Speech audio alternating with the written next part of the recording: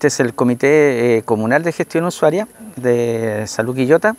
y en ella participan eh, representantes de los distintos sectores de, la comuna de Quillota, de los centros de salud, urbanos y rurales. Y bueno, el, el, objetivo de hoy básicamente es poder cerrar el año 2022 y proyectar algunas actividades para el año 2023, principalmente pensando en la función que debe cumplir el Comité de Gestión Usuaria como representante de la comunidad para mejorar la atención de salud de los distintos centros y en base a eso proyectar actividades que se puedan implementar en los distintos sectores y centros que vaya, en, eh, eh, que redunde finalmente en una mejor eh, atención de salud para el usuario, una mejora en su salud también y en la convivencia de la comunidad. Expliquémosle a la comunidad qué, qué, qué es el Comité de Gestión Usuaria y quiénes participan en este comité. Ya, en, la, en el Comité de Gestión Usuaria eh, está conformado por representantes de los consejos de salud,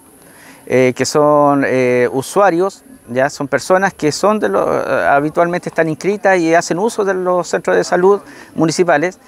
también hay representantes de las direcciones de los centros de salud y de la dirección comunal también de salud. El Comité de Gestión Usuaria eh, se hace cargo de las solicitudes ciudadanas, se hace cargo de lo que son los reclamos, las sugerencias, las felicitaciones, las solicitudes y busca dar una solución, una respuesta a esas solicitudes para mejorar la atención de salud. Ya, esta es una reunión que se hizo eh, de autocuidado donde estamos gestionando las actividades que van a hacer para el próximo año.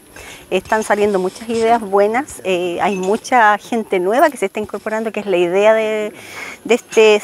trabajo para generar nuevos miembros, eh, ver qué podemos hacer para mejorar toda la respuesta de gestión usuaria. Eh, ahora se tiene un bonito entorno, así que estamos inspirados en muchas cosas. Y lo principal de acá es sacar las ideas para trabajar un programa el próximo año donde se vea que el, todo sale de nosotros, de los usuarios que nos llevan las ideas a los dirigentes y los dirigentes hacerlas presentes al servicio de salud,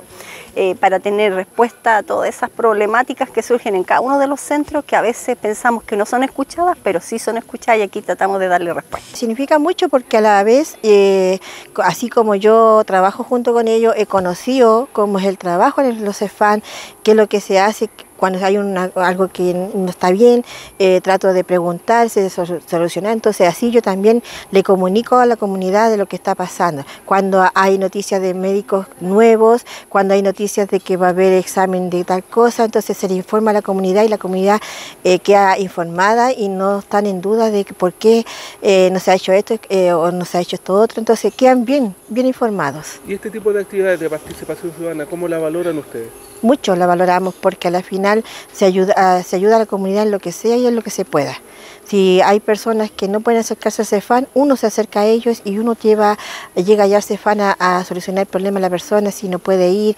Eh, como yo decía delante, yo hace de la pandemia que estoy recolectando los remedios de la gente adulta mayor y gente que trabaja, que pues, muchas veces no pueden acercarse a buscar los remedios. Yo se los tengo una vez al mes eh, para que ellos los puedan obtener en, en sus casas y sin tener que ir allá al CEFAN a buscarlos.